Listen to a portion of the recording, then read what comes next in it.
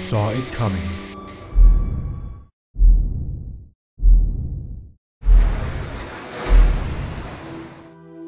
And there's a chance we may not see the next one either. Uh, the American people are not as safe as they ought to be in the event a disaster occurs.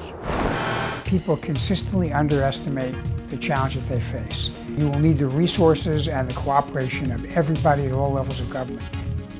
Public safety is about a system. It is not about individual agencies working by themselves. When a community is in chaos, who will back up our first responders? Interoperability is not a magic word.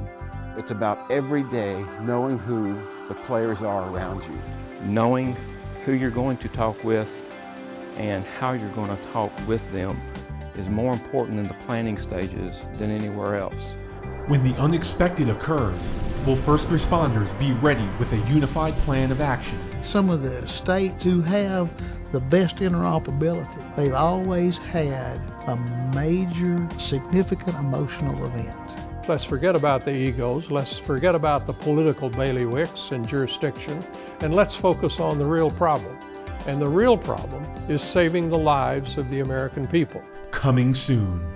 How far have we come?